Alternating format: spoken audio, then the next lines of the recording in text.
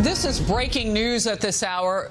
Shocking allegations of a college admissions scheme coming to light today. The FBI has accused dozens of people, including the actresses that you see on the screen, Felicity Huffman and Lori Loughlin, of bribing school officials to get their kids into some elite universities.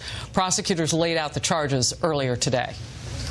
The parents charged today, despite already being able to give their children every legitimate advantage in the college admissions game, instead chose to corrupt and illegally manipulate the system for their benefit. We're not talking about donating a building so that a school's more likely to take your son or daughter.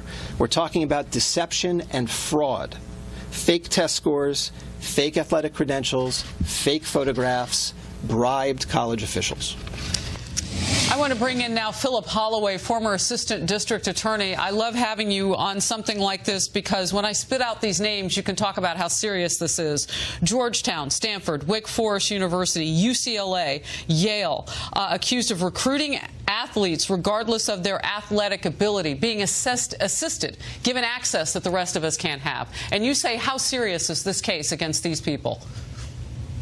It's quite serious, and it's stunning, isn't it, Harris? You know, it seems like, allegedly at least, these people think that what they can do is escape the criminal justice system by having access to a bagman who really, maybe unbeknownst mm. to them, mm. forms the center spoke of the conspiracy wheel where each individual uh, spoke around that wheel, you know, their individual defendants. They may not necessarily all know each other, but apparently they might all know the same bagman. And under federal criminal law, Harris, the, mm-hmm. the conspiracy alone, the agreement to get involved in this mess, that alone is enough to trigger federal criminal liability and the threat of merely one year in jail. And in fact, I think it may be much more. But even if it's just one year in terms of these white collar cases, that is a sufficient deterrent to keep anybody else who might be thinking about remotely doing something similar from doing just what these people have been charged with.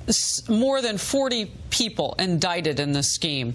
One California man, and I'm, I'm drilling down on this now, is accused of steering the money to either the SAT or ACT administrator to help the students get admitted, like better test scores being reported than they actually were.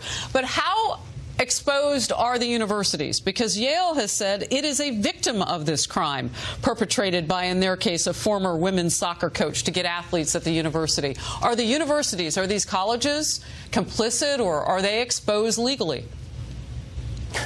allegedly their agents are complicit in many instances. They're accusing, you know, coaches and people that may be on the payroll of not only the bagman, but on the payroll, the legitimate payroll of the university. But I tell you, Harris, the real victims in this case are the, the people out there, the, the young ladies, for example, who work hard. They try to make good grades. They get good SAT, ACT scores. And when they go to sign up for admission, they find out that their place at that university has been bought and paid for for and sold to the highest bidder because wow. somebody else thought that they could use their privilege and their money to put their child at the head of the line. Have you ever heard of anything like this, or, or, does this stuff happen and we just learn about it now because of actresses' names like Felicity Huffman and Lori Loughlin?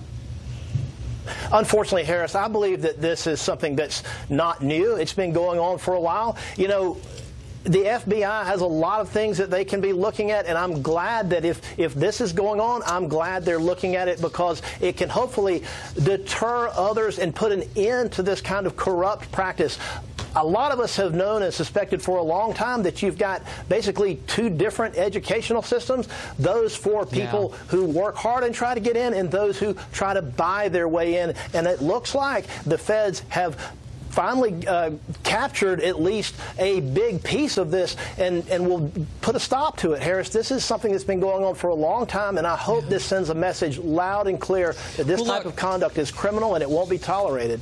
You are so right about the children, about those who didn't get in because their spots were soaked up over this elite access that some people allegedly had, but also those kids who benefited from this because they're being told, Philip, that hard work won't be the answer. Somebody actually has to pave the way for you. That is tough for them, too. Uh, Philip Holloway, always good to have you on the program. Thank you. Thanks so much for having me.